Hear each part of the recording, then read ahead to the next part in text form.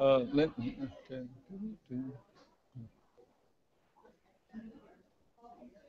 Okay. Um, okay, we're uh, we're ready to start. Yeah. Yeah.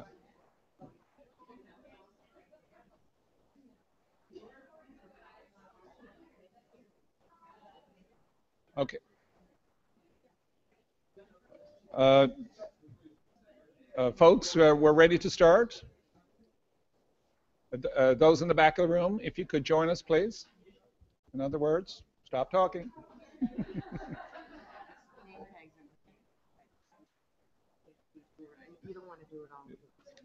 okay, just I don't know these either. Okay, all right.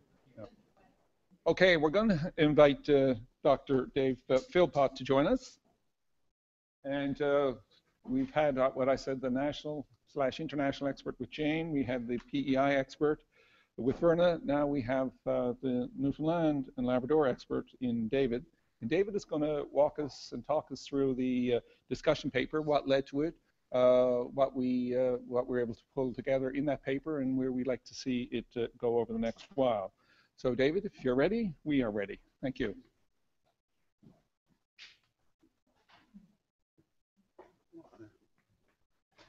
Okay, so I have big shoes to follow, don't I? okay, so it's against the backdrop of Jane's national and international trends and Verna's example of PEI that we begin a discussion around what is possible for Newfoundland, right? What can come that's a made in Newfoundland model, informed by broader context, reflective of other practices in country, but uniquely tailored to uh, to Newfoundland. And I have to start by by thanking Verna and Jane. Uh, as Newfoundlanders, we know what it's like to try to get off this island. Uh, Verna is now teaching us what's it like to get off one island in Atlantic Canada and try to get to another island. The cancelled flights, the changed schedules, but she hung in and arrived at some ungodly hour last night, uh, and we really appreciate that. John joked earlier that um, um, actually, before I go to that, um, Kathy and I were sitting in a conference in Toronto one time about a year and a half ago, and we heard Verna speak. And at the same time, both of us leaned over to the other one and said, we got to get her in Newfoundland. And so it's great that you're here, Verna. Um, John joked earlier that asked Jane when she's buying a house in Newfoundland. I really think we should give her a house in Newfoundland. and a nice one at that, because she's been so supportive of us as we've uh, been pushing this elephant up the hill for a number of years. Um, You'll also note that the graphics on the screen are reflective of the early years study three, and we did that purposely because we, the knowledge that's in the discussion paper is really a continuation of the knowledge that first came out with the uh, from the um, early years study three. so, how do you do this?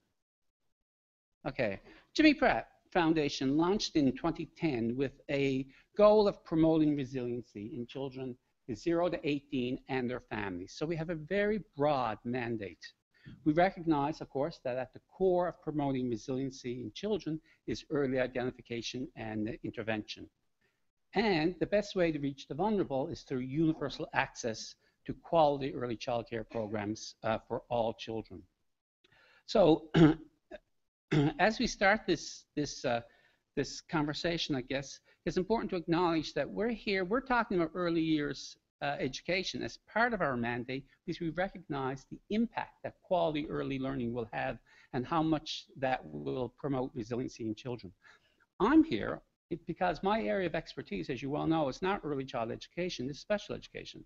And I've spent 33 years in this province pushing for quality support programs for children with disabilities, dealing with parents of kids who are 8 and 10 and 15 years of age who are just receiving a diagnosis. And I'm saying well you know yes you know she has uh, mild autism or severe dyslexia and she's also 4 years behind in her reading right? And the reactive side of, of service system.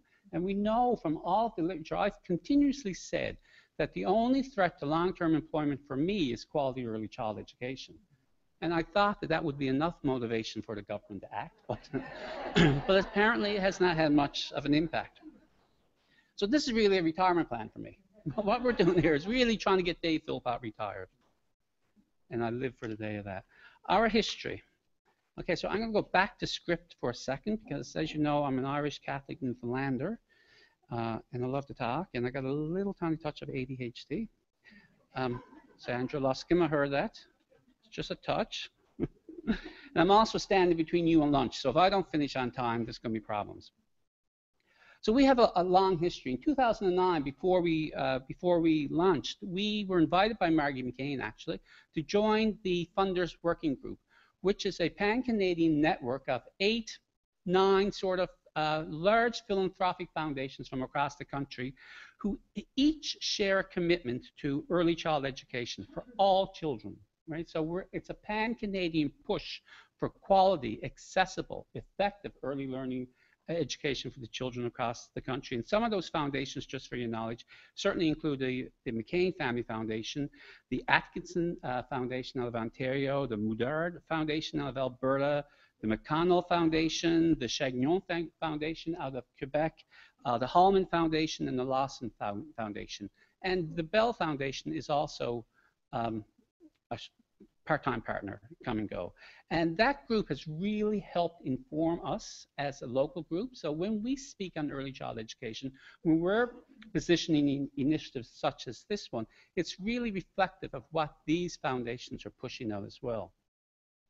In 2010, we launched, and we launched with a, uh, with a partnership with the Margaret and Wallace McCain Foundation to commit $300,000 to research on early child education in this province. We felt that it was an under-researched area here. We knew the local the issues, and with our monies and McCain monies, we, we announced a $300,000 commitment.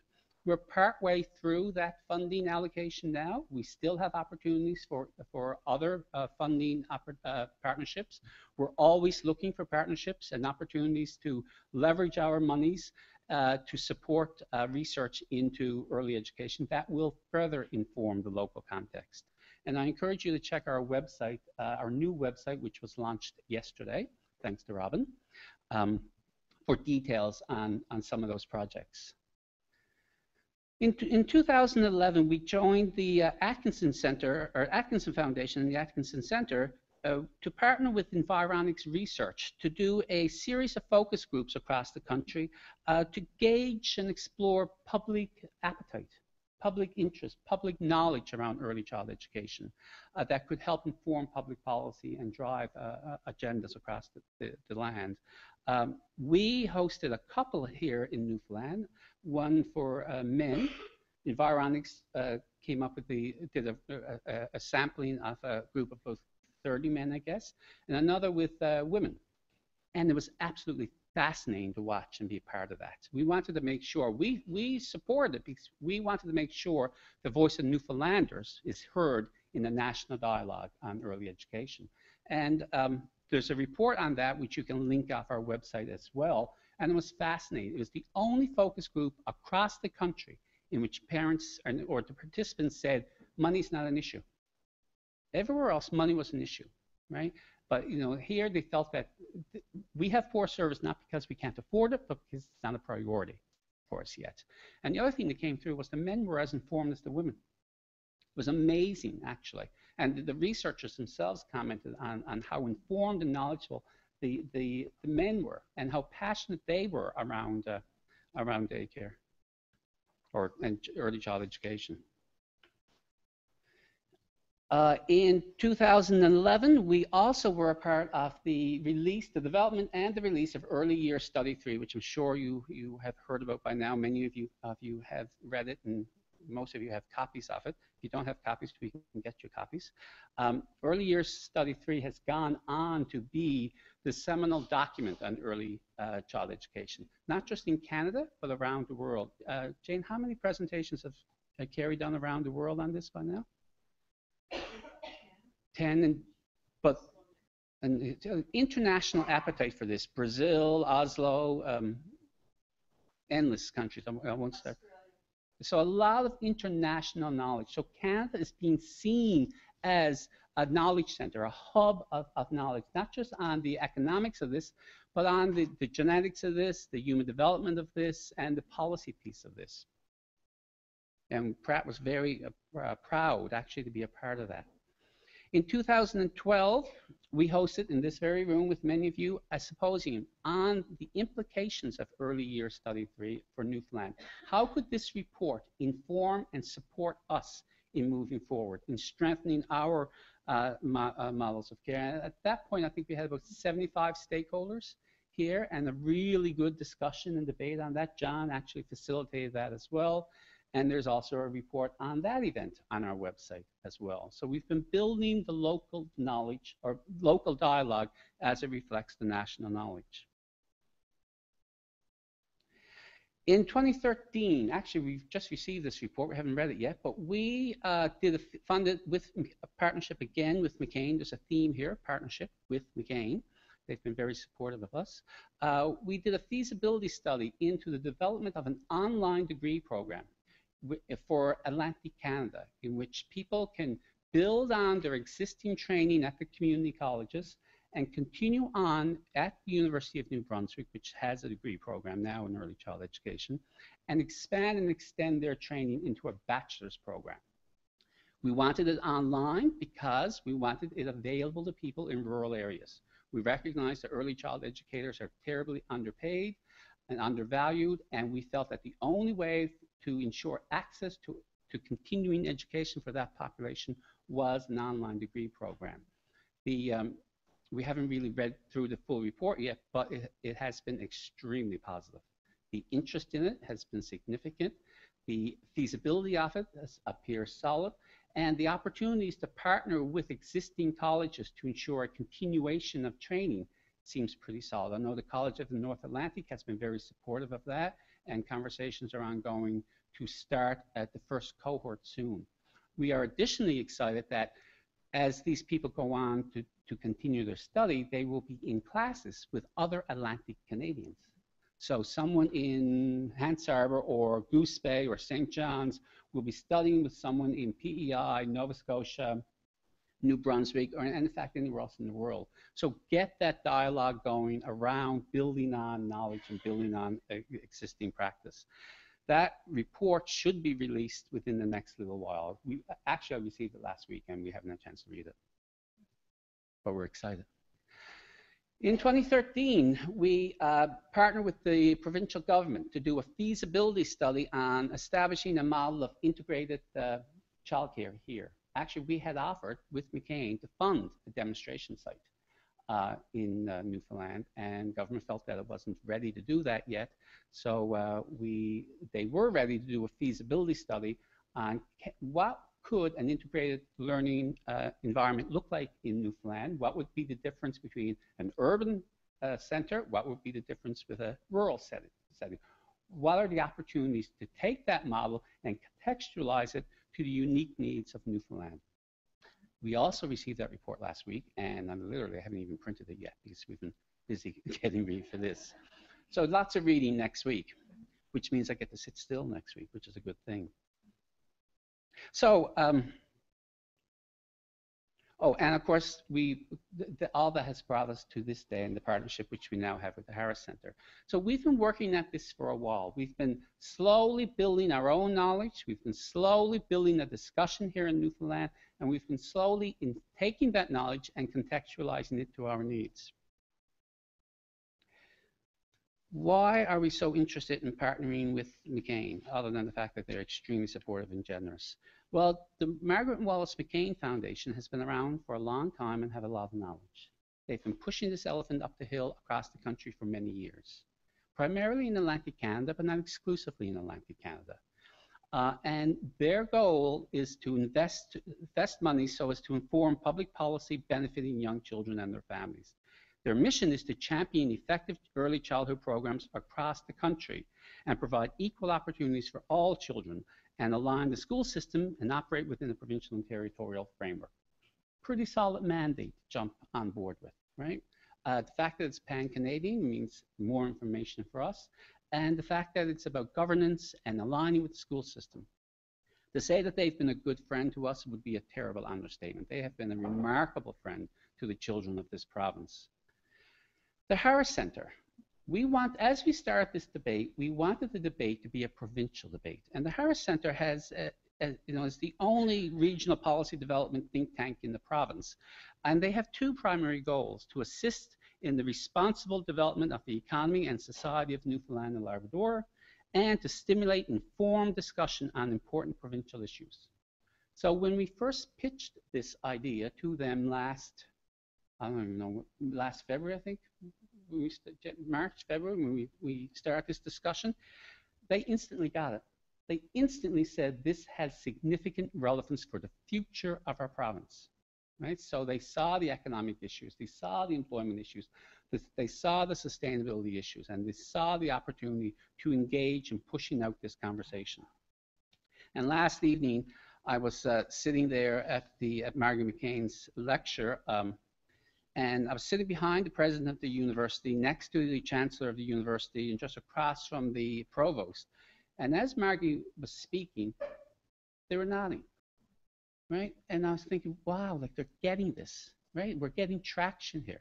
And if the if the university, as the province's sole university and center of knowledge creation and knowledge mobilization in this province, gets the critical importance of having this debate now, then we have traction.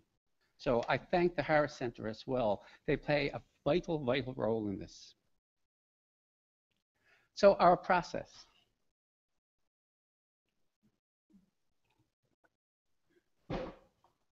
Well, we've been at it for a while. The first thing we did was we explored the literature. And in exploring the literature, of course, we were aided by the, the how current early years study three is, but the Atkinson Center out of OISE, uh, and, the, uh, uh, and in particular, Kerry McCuaig, who was one of the authors uh, on early years three, have been an invaluable resource. They have floated us countless uh, pieces of information and data and, and, and literature around this but we wanted this to, before we even start this discussion, what is in the literature and what is, what is, what is in the wealth of literature that has particular relevance to Newfoundland.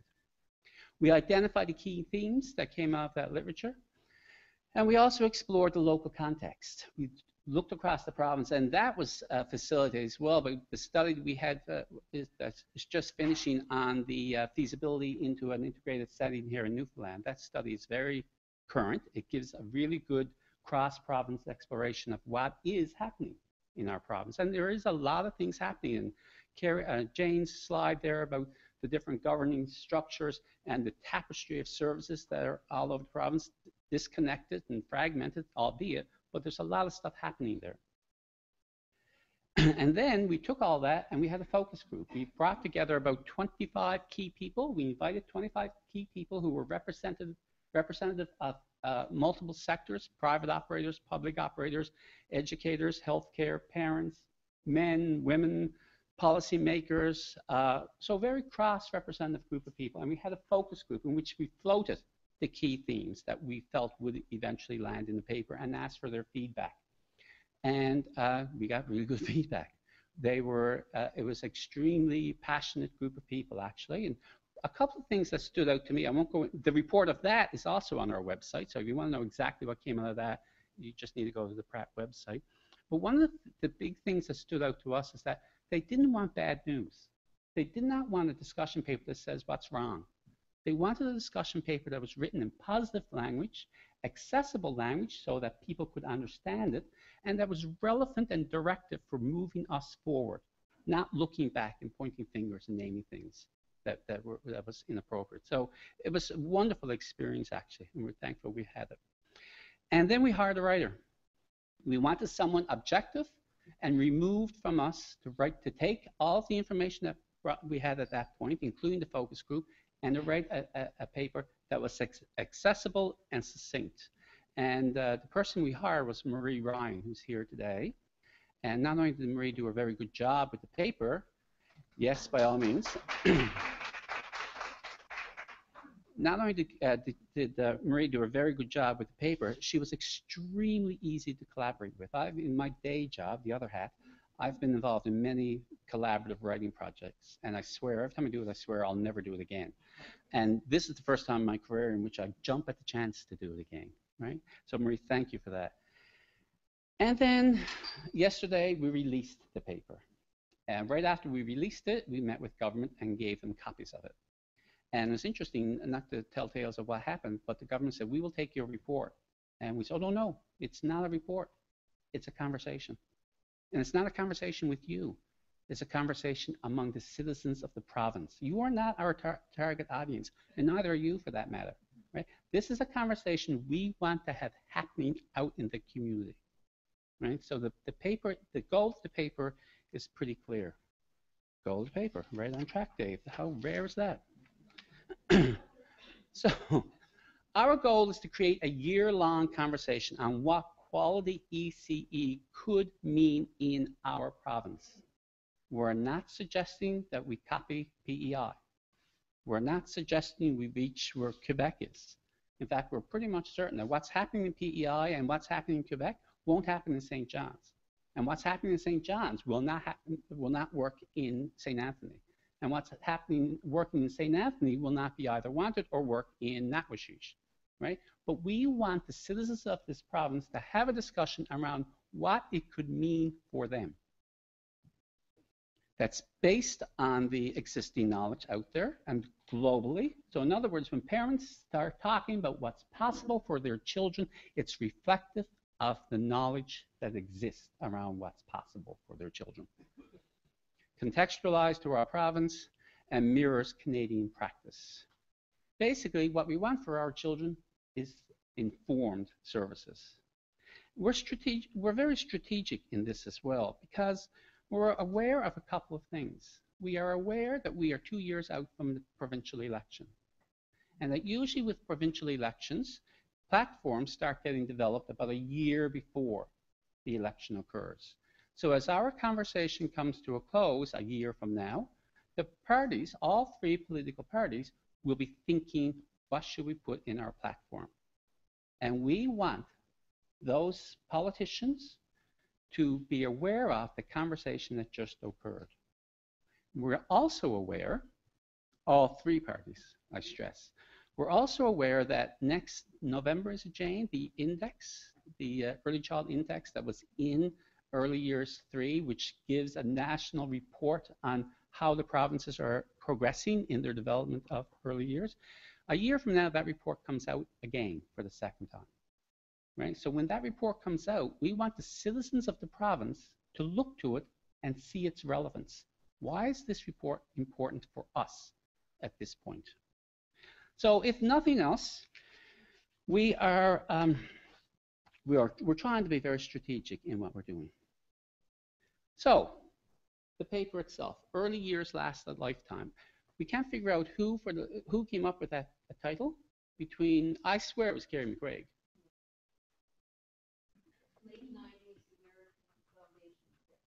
Oh, there, I learned something new. but we're not giving them credit now. We're going to give credit to Marie Ryan. so I'm going to walk you through how the paper is structured and what the key points uh, that are in it are we start with a preamble, and uh, the preamble, I guess, speaks to the critical importance of the first five years of a child's life. It speaks to the fact that we know 85% of the brain is developed by the time a child finishes kindergarten, and that nutrition, the physical environment, nurturance, love, food, attention are all essential parts of that development. We talk a lot about rights. We talk about the child's right to the best possible uh, childhood they, they can have, the right to daily lives in healthy and secure spaces and places, the right to high quality, inclusive, fun, early learning environments that encourage investigation and play. But we also talk about parents' rights, the right of parents that know that they have choices for their children.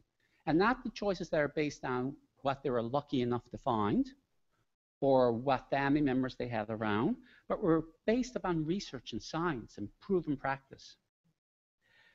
It talks about quality early learning experiences and stimulating uh, environments having lasting impacts. And we know about the improved self-confidence and self-esteem, heightened self-esteem that comes out of quality early learning. We talk about the improved health that comes out of early learning. The studies that say that kids who are involved in solid early learning programs have higher creativity and stronger social skills. They have enhanced problem solving skills and perseverance. They're more successful in schools and in the workplace. And they're more engaged citizens and more productive members of society. So the, the, the, the impact of, of, of involvement and we also say that the research on this is volumes. It's not new research. It's been in existence for years. Uh, and it's globally consistent in stating that early child education is good for children, it's good for families, it's good for uh, communities, and it's good for economies.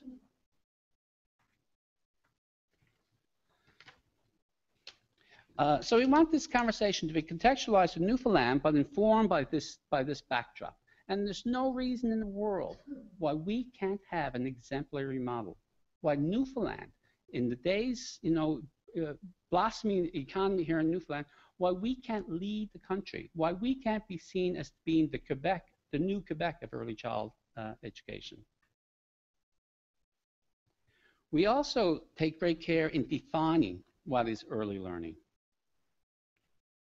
and what we mean by, uh, by quality early learning.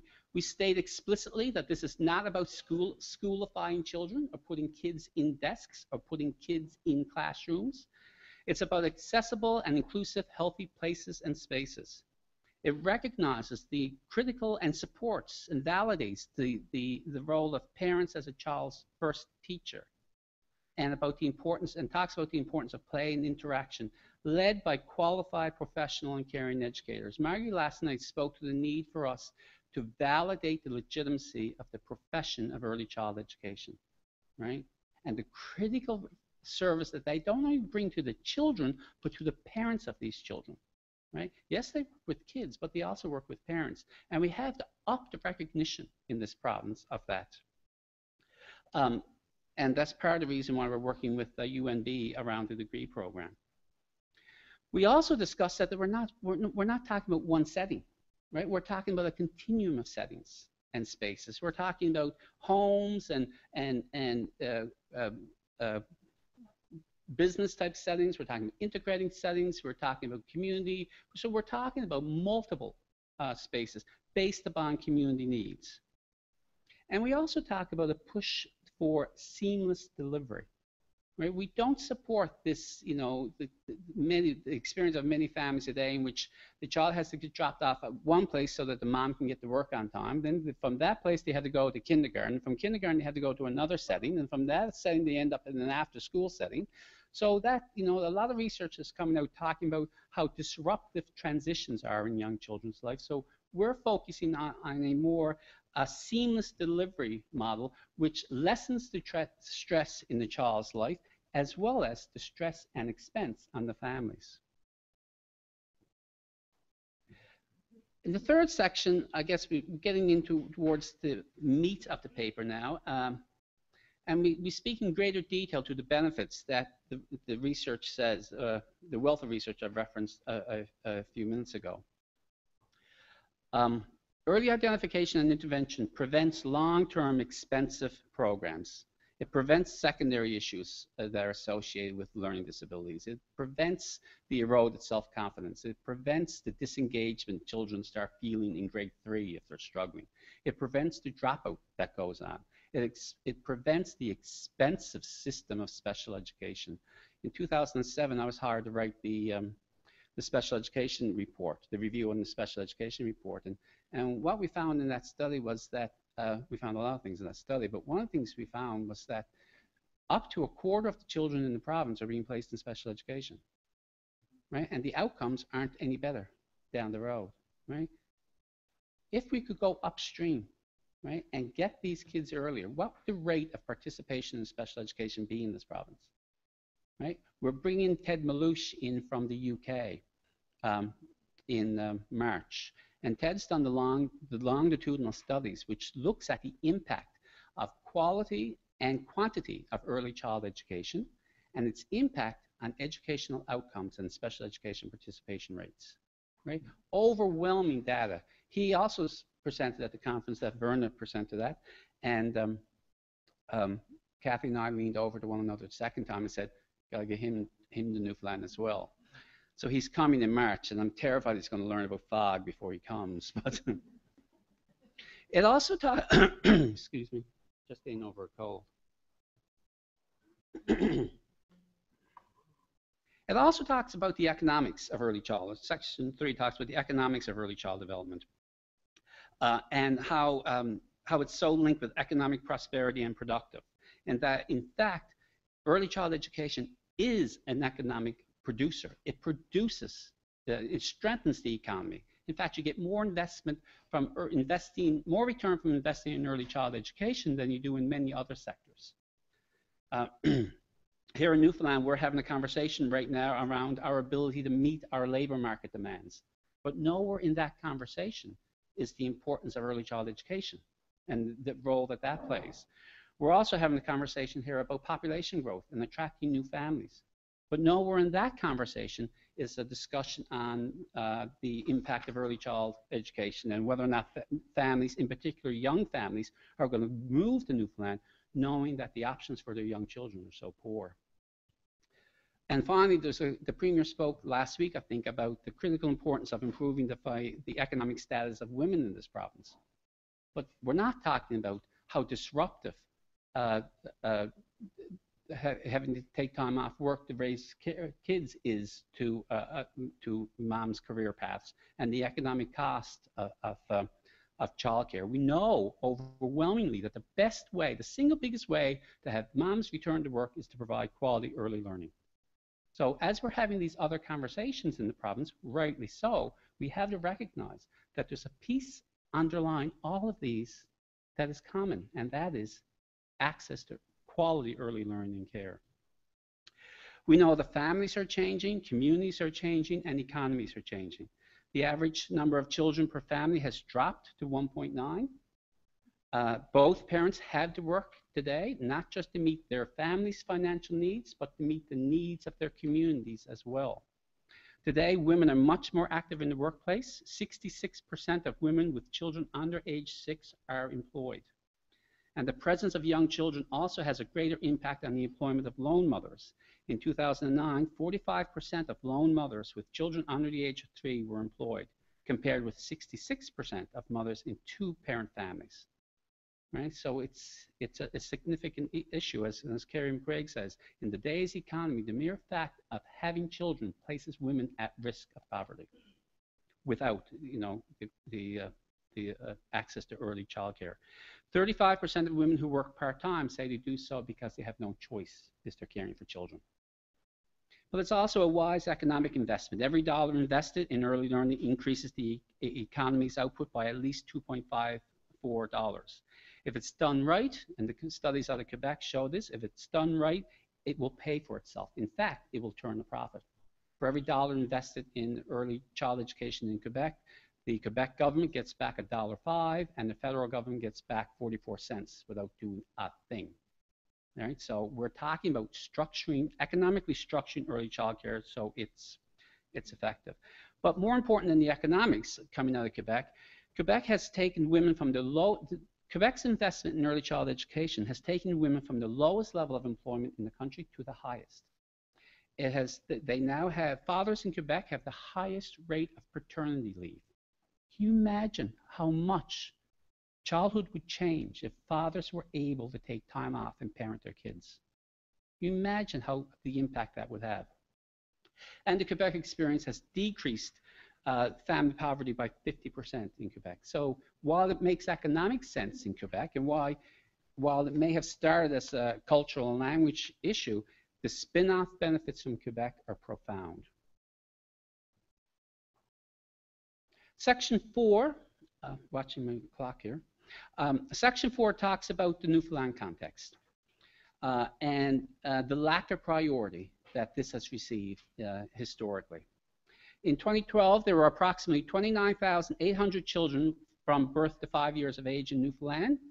While almost 60% of these children have mothers employed in the labor force, there are licensed childcare spaces for 19%. Newfoundland ranks last among the 10 Atlantic provinces, as you saw by Jane's index. Um, we acknowledge that government has two distinct strategies, the Learning from the Start program led by the Department of Education and Caring for Our Future, uh, the provincial strategy for quality, sufficient, and affordable childcare in Newfoundland, led by the, the, Department of Child, Youth, and Family Services. We acknowledge that there's many, many, many good things in both of those strategies, right? They call the double Newfoundland's investment um, uh, uh, by 2022 and improving policy and you know, uh, looking at uh, training and retention of early child educators. But we are concerned that it's a 10-year strategy. And we don't feel it's appropriate to let two generations of children go by while we're waiting to get to where we need to be. And research out of the Atkinson Center are clearly indicating that even if government meets all its markers by 2022, we will still lag the other provinces because the other provinces are out investing us in this area, even though they are not in the financial situation that we are in. We know that 80% of five-year-olds in the country are in full-day kindergarten. I would be interested in knowing how many how many kindergartens in Newfoundland go to daycare in the, in the afternoon session. My guess is that 80% of Newfoundland children are also in school for a full day, except that it's at least two, if not three sites. Uh, and we challenge government, as Jane spoke this morning, to take the simple step of integrating governance. Right? If they did nothing else in the, in the short term but integrated governance, that would have a big impact. And of course, we brought Verna Bruce here before I spoke because we wanted to display that it's not a pipe dream.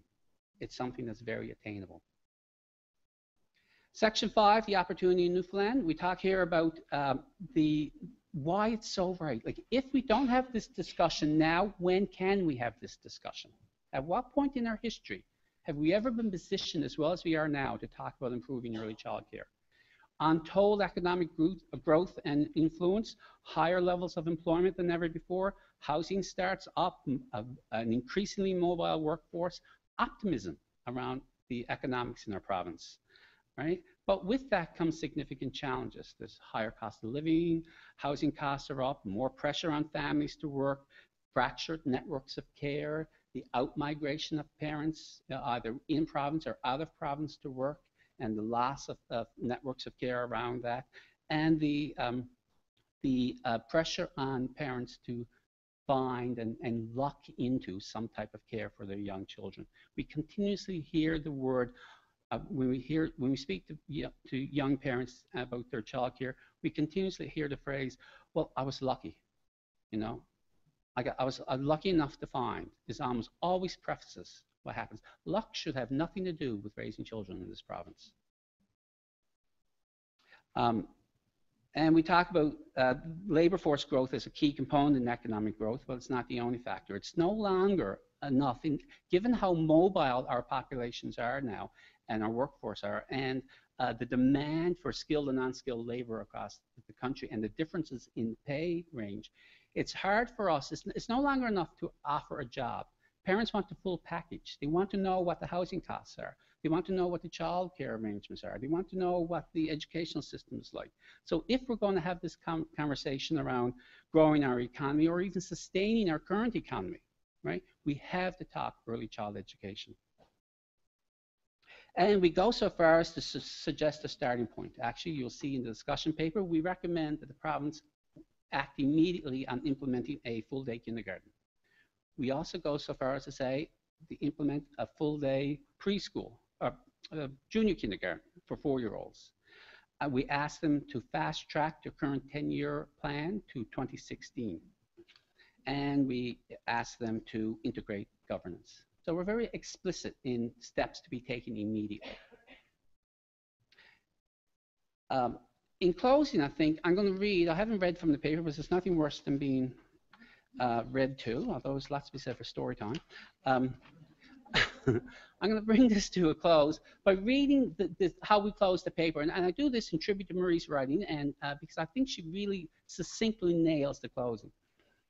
Creating a successful integrated early learning strategy from Newfoundland's current service patchwork demands strong leadership. It requires effective and efficient policies that meet individual, social, cultural, and economic objectives. It requires the integration of services through collaboration at, at all levels. It requires a commitment to quality in early learning. The future of children born in Newfoundland tomorrow will be shaped by the decisions we make today. From this generation will come community leaders who will play a critical role in determining Newfoundland's future, health, economic prosperity, and sustainability. The path we take today will determine their future and ours. A child's early learning indeed does last a lifetime. So next steps, uh, you're not our target audience. You're a part of our messaging, right? So we want your input. We want your feedback on this. We want endorsements of this. We want people to buy into this and say, yes, this is an important conversation that we should be having. But we want you to join the conversation. And Verna's advice this morning about using your networks and engaging your stakeholders, right? Uh, I think that the title of our follow-up paper will be Gentle Pressure Relentlessly Applied. and we know who will be given credit for that title. So again, our intention is strategic, it's overt, and it's timely. Start talking and make sure that conversation is informed by what is possible for our children. Okay, thank you.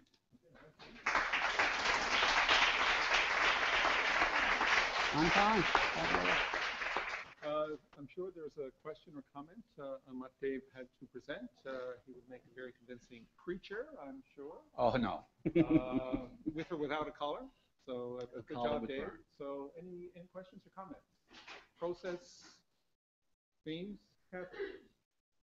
I just want to point out that, that this is not an end practice document.